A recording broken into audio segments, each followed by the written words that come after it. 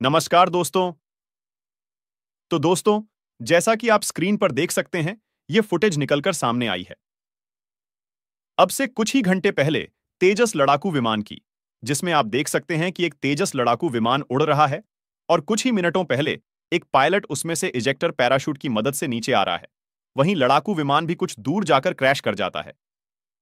यह तेजस लड़ाकू विमान, अब से कुछ घंटे पहले क्रैश हुआ है।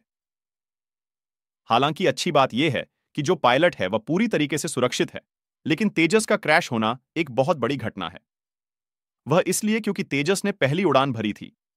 सन 2001 में इसका पहला प्रोटोटाइप उड़ाया गया था। तब से लेकर अब 2024 आ चुका है, यानी कि पूरा 23 साल का वक्त बीत चुका है। इन 23 सालों में तेजस लड़ाकू विमान एक बार भी क्रैश नहीं हुआ। इसका रिकॉर्ड आउटस्टैंडिंग रहा है इसने दुनिया के सबसे शक्तिशाली लड़ाकू विमानों को इस मामले में धूल चटा दी है। उदाहरण के लिए राफेल, लड़ाकू विमान, जिसे दुनिया का एक एलीट लड़ाकू विमान कहा जाता है। वह फ्रांस की सेना में शामिल होने के बाद छह बार क्रैश कर चुका है। जी हाँ, छह राफेल लड़ाकू विमान क्रैश कर गए हैं। पिछले कुछ सालों के अंदर बात करें एफ़ थर्टी फाइव। जिसे अमेरिका ही नहीं, पूरे वर्ल्ड का one of the most advance और मोस्ट लीथल लड़ाकू विमान कहा जाता है।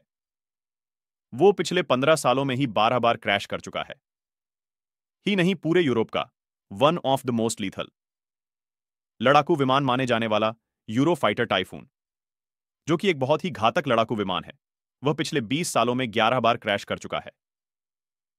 वहीं चीन के जे ट्वेंटी की बात करें, जो चीन का सबसे ताकतवर लड़ाकू विमान है। उसके तो क्रैश करने की कोई लिमिट ही नहीं है, वह तो कई बार उड़ भी नहीं पाता। और यह तो मैंने दुनिया के सबसे घातक लड़ाकू विमानों की। आपको बात बताई है, अगर मैं पाकिस्तान के सबसे खतरनाक लड़ाकू विमान जे एफ़ सेवनटीन की आपको बात बताने लग जाऊँ तो यह वीडियो दस मिनट की हो जाएगी। उस लड़ाकू विमान की हालत तो यह है कि चालीस पर जे एफ़ सेवनटीन।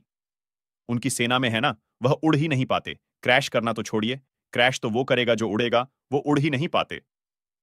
और ऐसे में हमारा तेजस है, जो पिछले 23 सालों में आज 2024 में पहली बार क्रैश हुआ है।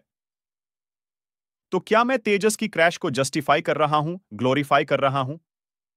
नहीं, मैं सिर्फ़ यह बताना चाहता हूँ कि पाकिस्तान के सोशल मीडिया हैंडल जो सेलिब्रेट कर रहे हैं, तेजस के क्रैश को, जो भारतीयों का मज़ाक उड़ा रहे हैं, आप उन्हें इग्नोर कीजिए।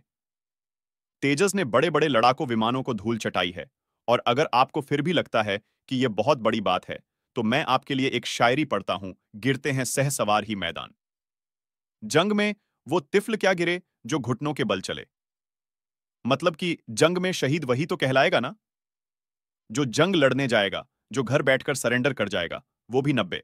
हज की संख्या में वो शहीद कैसे कहलाएगा? और दूसरी बड़ी बात मशीनरी है। जब चलेगी तो खराब भी होगी, आपकी मोटरसाइकिल भी खराब होती है, गाड़ी भी खराब होती है। रही बात तेजस की तो इस बुराई में भी हमें कोई ना कोई अच्छाई मिलेगी। क्या पता हमें ऐसी कोई खामी पता चले, जिससे कि भविष्य में सुधार कर हम अपने लड़ाकू विमान का रिकॉर्ड और बेहतर बनाएँ। हालाँकि इस मामले पर जो भी अपडेट आएगा, मैं आपको ज़रूर दूँ। Thank you.